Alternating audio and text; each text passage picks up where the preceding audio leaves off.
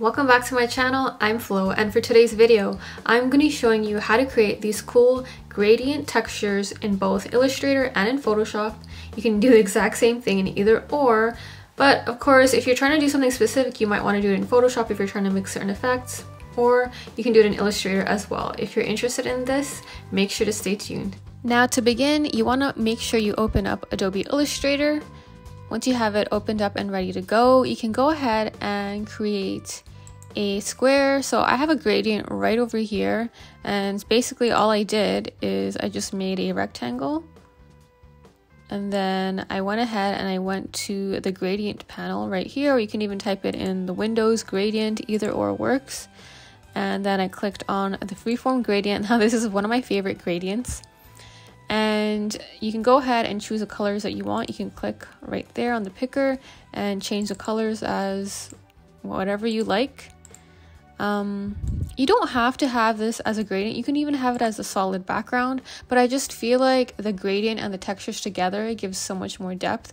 So I thought, you know, why not show you these effects along with the gradient as well, just because I feel like they just look a lot more richer. But of course, whatever I show you um, with the textures, you can apply this on just solid backgrounds as well. It just looks a lot more flat. That's that's why I thought I'd show you it on gradients because I just think it's a lot more interesting all right, so once you have that and you're good to go, so um, you can just go ahead and like, anyways, I just wanted to show you that as an example.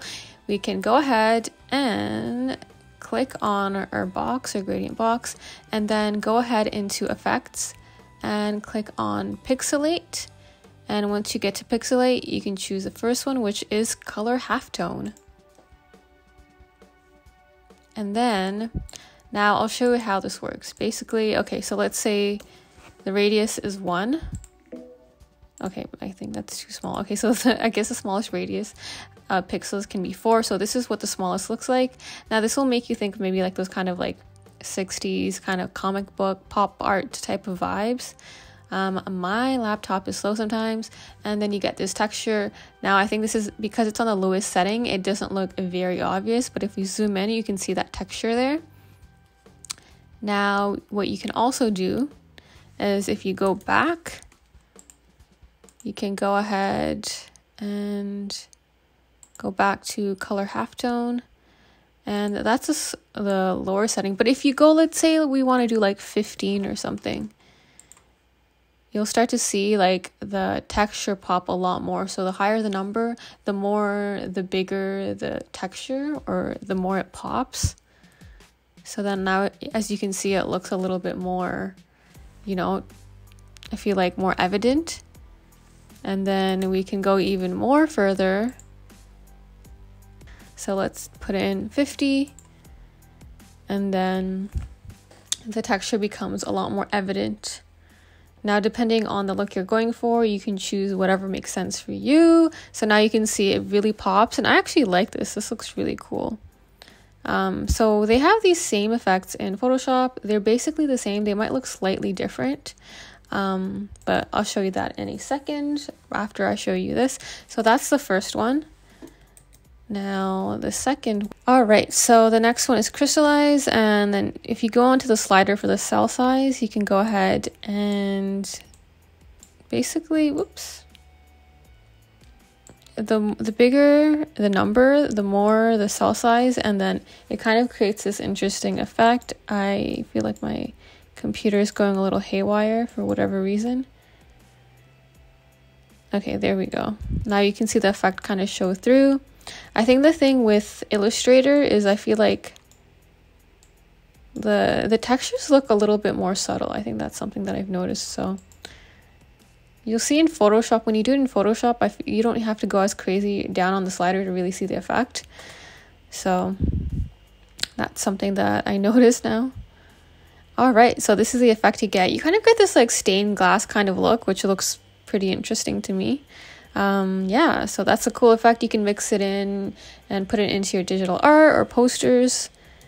Now, the next one, the third one is Mezzotint. Now, this is where we kind of get into a little bit more of like noise and you have a good selection as well. So, so there's fine dots And then there's medium dots. There's grainy dots, which is cool. Coarse dots. There's even short lines. Like there's a lot that you can kind of go through and you can even make it a little bit smaller so you can kind of see the full picture and see how it looks. Yeah, it looks pretty cool. So if you're looking for a very specific texture or you're trying to create something that's very even retro, like a lot of these textures can be something that's pretty cool. Let's go for the medium dots. And let's see how that looks. So kind of have mezzotint is very like I feel like similar to noise. I feel like it basically is noise. Um, so there you have it. You get this cool texture, which I, really like. It looks pretty cool.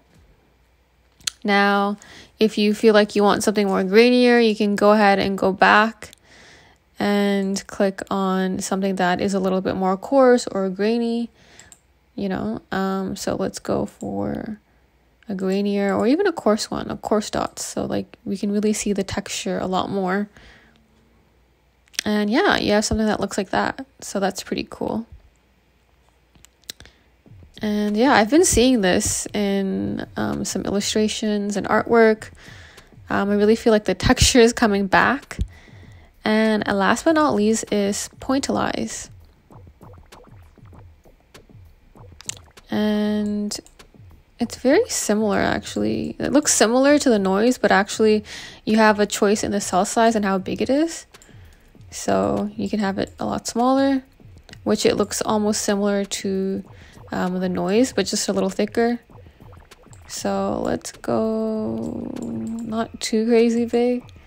Let's go for 20 because you can make it really huge if you want to, but I feel like it starts to look not even like texture like it just looks like big clumps of blobs basically if you go super high. I mean, if that's what you're going for. It almost looks like um like stippled marker or something like that.